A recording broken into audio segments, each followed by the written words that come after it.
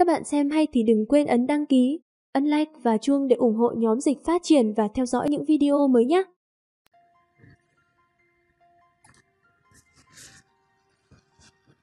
Chuyện ngăn chặn lực tín ngưỡng này, người bình thường quả thật là không thể nào làm được. Nhưng mà mình đã không còn là mình của ngày xưa rồi. Mình phải đi xem thử ô giáo hội này rốt cuộc là đang giả thủ đoạn gì.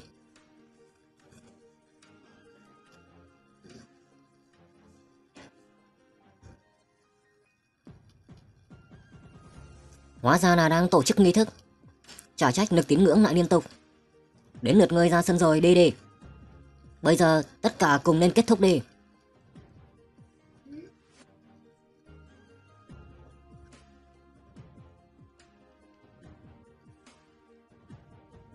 Hừm, sức mạnh của tên này yếu đi rồi.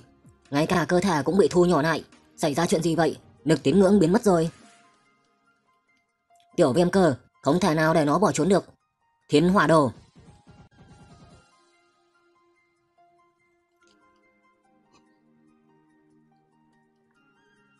Lần này tình hình đảo ngược rồi, xem ngươi còn có thể trốn đi đâu.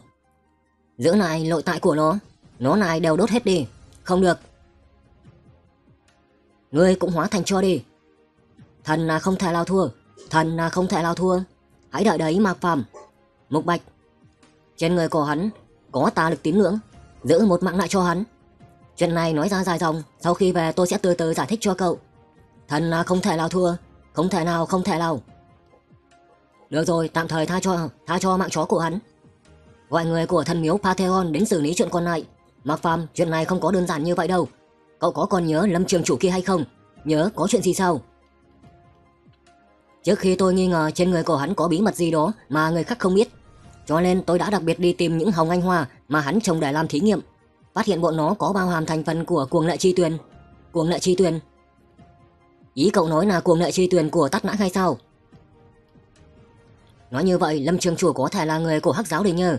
Hơn nữa, quan hệ của hắn và Tát Nãng cũng không tầm thường. Hắn đâu rồi, bây giờ hắn còn đang ở đâu? Kim Diệu kỵ sĩ còn đang canh giữ. Nếu như hắn thật sự là người của Hắc giáo đình, không ổn rồi, có thể là xảy ra chuyện rồi. Khương Bân, Khương Bân,